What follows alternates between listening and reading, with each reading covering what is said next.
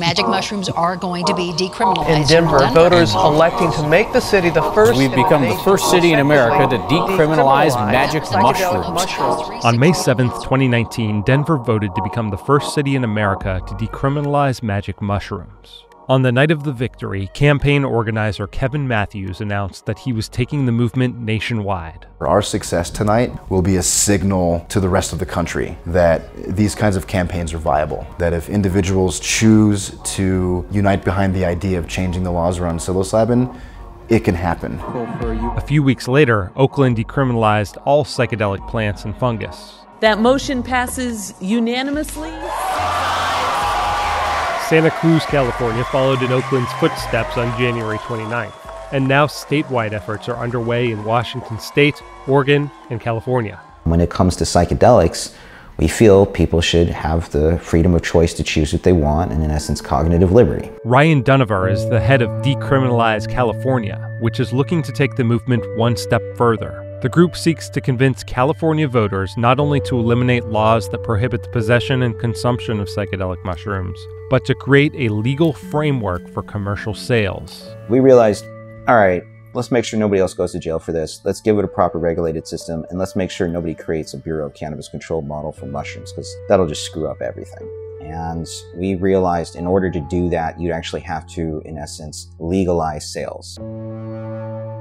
But Munevar's approach is proving controversial within the movement among those who seek decriminalization as a path to communing with nature. We led uh, from a place of love. That is, we didn't push commodification, we pushed equitable access and just decriminalizing our relationship with nature. Carlos Plazola is the head of Decriminalize Nature in Oakland, which is geared towards removing barriers for city residents who want to exercise the right to experience these naturally occurring substances. The city basically said, we recognize the healing effect of these plants. So the citizenry hears that and says, oh, I'm, I'm curious now.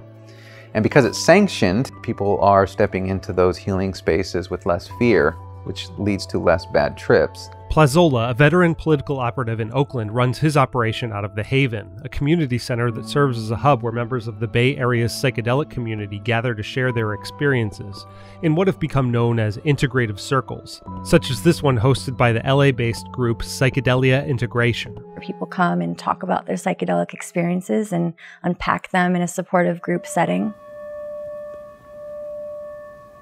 Danielle Negrin of San Francisco Psychedelic Society says these gatherings are a place for those who've had intense psychedelic trips to talk with others and to share information about their use in therapy and in treating addiction. Sometimes these experiences can really transform a person, change them, open up their mind in ways they had never accessed before. We provide community and connection and support for people so that they can go through these experiences knowing that they're not alone. Decriminalization is a risk reduction strategy. We're allowing a space for people to come together. We're allowing people to feel less concerned about the, the risk that might be for coming out.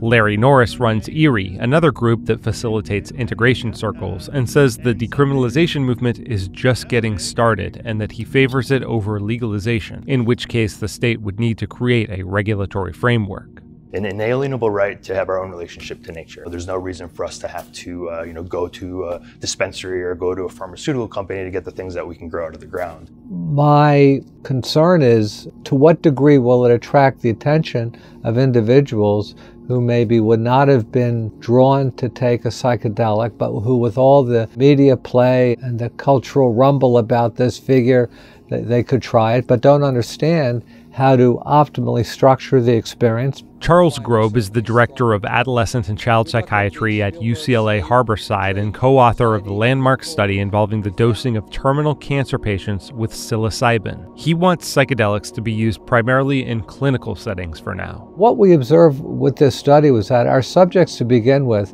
were in great existential crisis. Their sense of self had eroded, the sense of continuity over time, often a sense of loss of meaning, loss of purpose. What we found with these psychedelic experiences, individuals reported they were often able to reestablish that sense of self, continuity with the previous parts of their lives, and strengthen their sense of meaning and purpose. Grob is one of many scientists working in the field of psychedelic research, which has experienced several breakthroughs in recent years thanks to the decades long effort of the Multidisciplinary Association of Psychedelic Studies, or MAPS. MAPS has funded studies treating PTSD in veterans with MDMA, commonly known as ecstasy. The results were so promising, the FDA designated it a breakthrough therapy, fast tracking the approval process so that the treatment could be available by as early as 2021, pending completion of phase 3 clinical trials.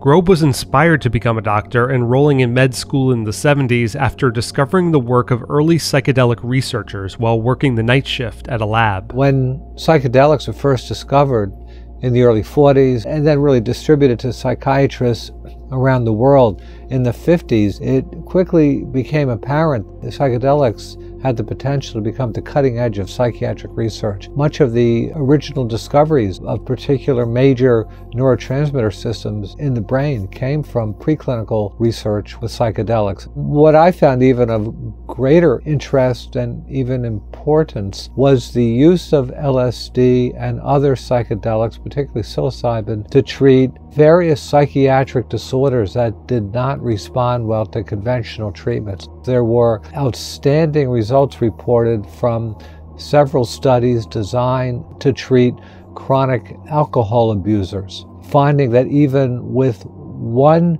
treatment session with a psychedelic, well, sometimes a brief psychotherapy, individuals would have dramatic remission of their severe disorder and simply stop drinking. It was noted that the best outcomes for those individuals who had what was described as a powerful mystical level experience, a powerful psycho-spiritual epiphany. So in a sense, the mysticomimetic properties of these drugs were highly unusual but Grob is wary of making them available to the public without guidance from experienced professionals in a clinical setting. Nothing is without risk, and some individuals are going to be at greater risk than others. I've published a paper on potential adverse interactions between SSRI antidepressants and ayahuasca. Some individuals have some underlying risk for um, psychotic illness, whether it's uh, schizophrenia or the bipolar spectrum. The experience, particularly under adverse conditions,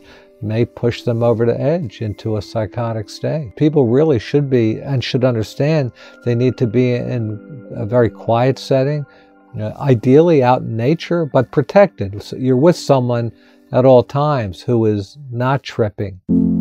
But Munevar worries that legalizing only medical use will mean that many people who could benefit from psychedelics won't have access.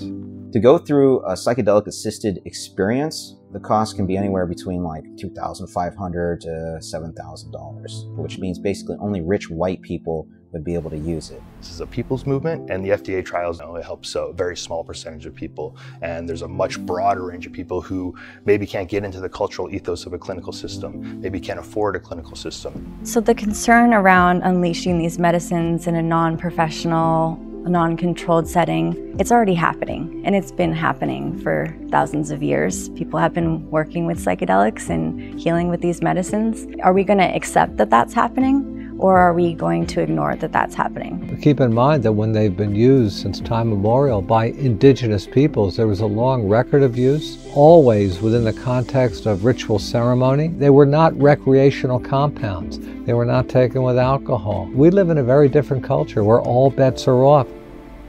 As for the effort to fully legalize psychedelics in California, the Attorney General's office approved the initiative's language in early January, and the campaign is currently collecting the 625,000 signatures it needs to qualify for the ballot.